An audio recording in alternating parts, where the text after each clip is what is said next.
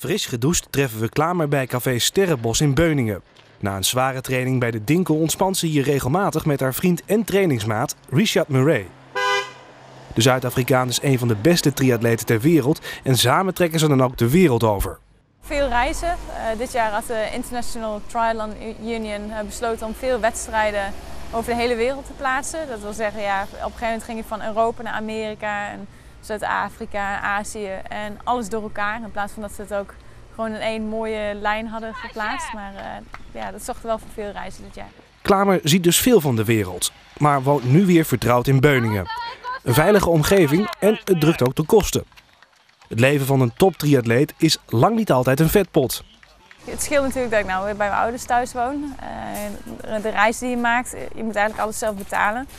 Ja, ga je, wat ik net al aangaf, ga je een uh, weekendje naar Japan. Ja, ben je voor je vluchtaccommodatie al ruim 1000 euro kwijt. Ja, slechte wedstrijd en je krijgt geen geld binnen. Dus die 1000 euro ben je dan kwijt.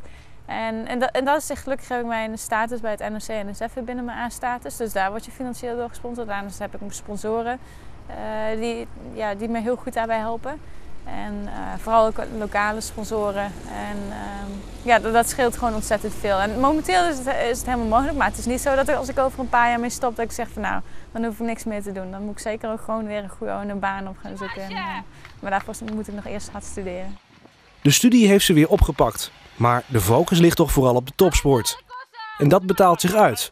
Na een slecht voorseizoen heeft ze de weg naar boven weer gevonden. Ja, het uh, niveau lijkt weer terug te komen. Uh, ik had in het begin van het jaar wat, uh, ja, wat moeilijkheden met het lopen. de eerste wedstrijd ging goed, of de eerste grote wedstrijd. En toen bleef het allemaal een beetje steken.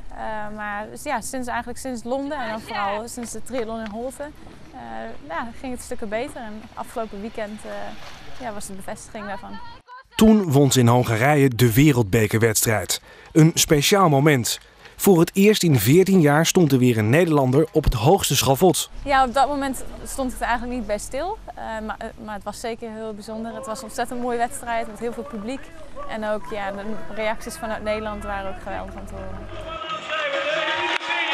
Hier is het Nederlandse succes!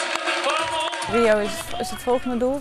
Uh, maar als ik aangaf, ja, een aantal maanden geleden heb ik ook besloten van nou, elk klein stapje wat ik nu maak is mooi meegenomen.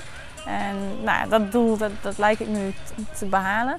En 2016 wordt daarbij zeker een doel. En ja, hopen dat het ook kleine stapjes blijft en dat het niet weer terug, naar, uh, ja, terug gaat naar hoe het jaar begon.